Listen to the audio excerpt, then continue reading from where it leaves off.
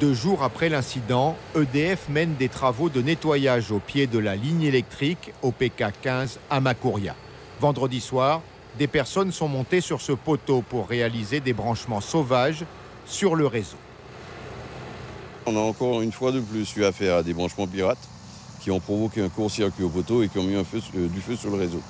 Donc on est resté sans lumière de 19h euh, vendredi à 20h euh, le samedi à peu près. Depuis des années, les habitants de ce secteur sont victimes de branchements illégaux. Régulièrement, Pascal débusque des câbles électriques clandestins dans le quartier. Avec des voisins ces derniers mois, il a récupéré des dizaines de mètres de câbles installés en toute impunité. Mon compteur au tout départ était au bord de la route de la RN1, à 200 mètres d'ici. Et euh, tous les jours, mon compteur était, euh, était ponctionné. Tous les jours, mon compteur, il y avait des fils euh, frauduleux qui passaient à l'intérieur et qui descendaient sous terre et qui étaient distribués un peu partout chez les clandestins d'à côté.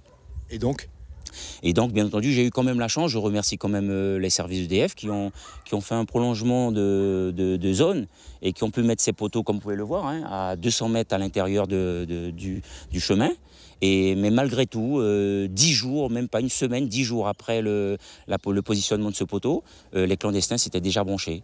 Les habitants du PK15 dénoncent des vols de courant au profit des villages clandestins environnants, dont le quartier de Sablance. Plus de 3000 personnes dans des maisons pour la plupart illégales. Les fils électriques passent aussi au milieu des abattis plantés par les clandestins sur des terrains privés. Un véritable trafic d'électricité tous ces branchements illégaux qui sont faits là sont au bénéfice euh, de personnes clandestines qui habitent dans la région de Sablance. Donc euh, il y a un marché énorme avec euh, certaines sociétés, certains comment dire, installateurs en gros, et ensuite au bénéfice, comme, comme je viens de le dire, des, des clandestins qui sont là-bas. Qui revendent du courant Qui revendent du courant. Dans ce secteur, les vols de courant entraînent une baisse de la tension électrique, difficile à vivre pour les usagers d'EDF. Là, nous avons une vulgaire bouilloire, hein, toute simple. Euh, le matin, ben, il faut une heure pour qu'elle chauffe. Alors qu'en théorie, si on a du jus, en deux secondes, on a chauffé l'eau. Le micro-ondes, c'est pareil. Euh, le four électrique, c'est pareil. Le petit fer à repasser, ben, il faut une heure pour repasser sa chemise. Voilà ce qu'on vit aujourd'hui au quotidien à cause des vols de courant.